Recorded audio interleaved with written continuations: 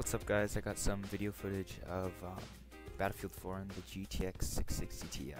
This is the Gigabyte over OC edition in particular, but um, other than that it won't vary card to card very much. So on this map um, I was getting around 50 frames a second on average and it would dip down to about 45 on under heavy load and then go up to 60 on when I was just in like a building or something. But um, on other maps, you know, you won't go under 60 FPS, but this one was a bit more, uh, a lot bigger than the other ones I was playing on, so you'll get around 50 on average.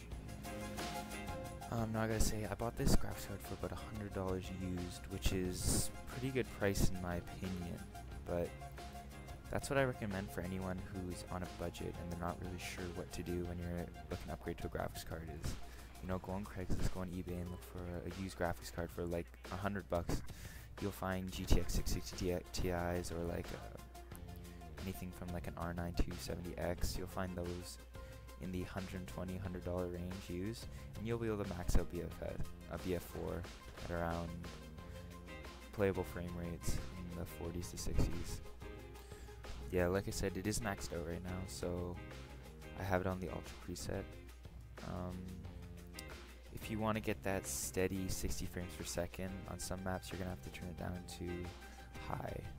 If you guys do have any questions just post them in the comment section. I'll get back to you as soon as possible. And I will also be posting my computer specs in the description if you want to look at that. And other than that you can just uh, watch the rest of the video footage.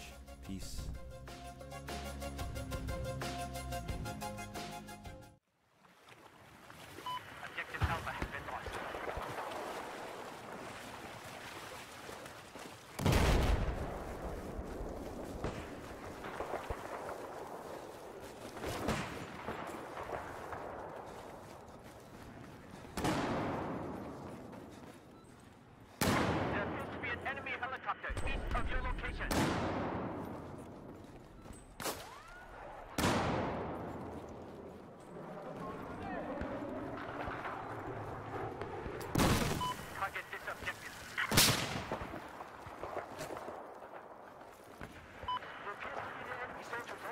location.